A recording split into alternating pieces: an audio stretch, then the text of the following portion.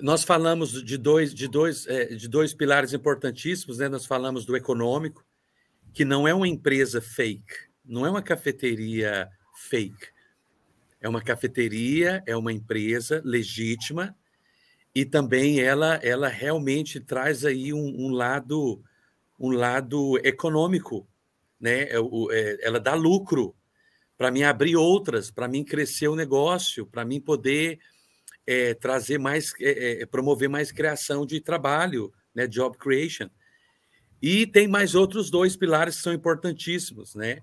Hum. Que é o, o, o social e o também ambiental. Por quê? E isso é muito importante, é porque hoje você vê que é, há muitos negócios que você às vezes não consegue nem entrar num restaurante de tão sujo que está, de muito papel no chão.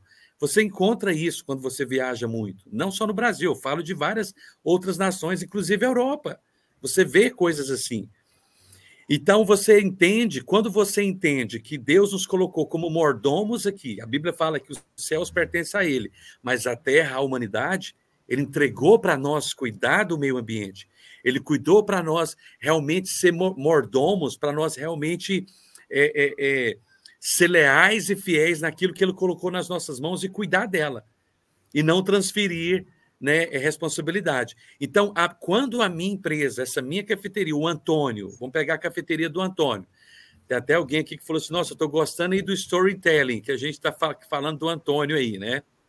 Então, quando a gente pega e a cafeteria do Antônio, o Antônio começa a entender: uau, não é só espiritual, agora estou batizando, estou discipulando os meus funcionários, estou alcançando os familiares, os clientes, a comunidade, tal. Ele começa a entender também que dá lucro, e agora ele começa a entender o social.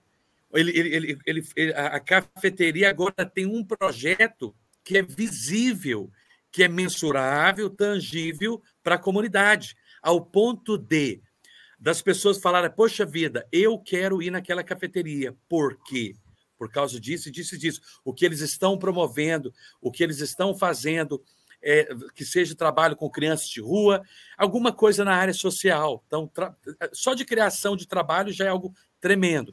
Mas também o ambiental que é cuidar da nossa comunidade, cuidar das ruas, limpar nossa cidade, ser uma cafeteria que é diferenciada naquilo que está fazendo, seja através da reciclagem, alguma coisa que Deus vai colocar. Agora, lembrando, novamente, é um processo.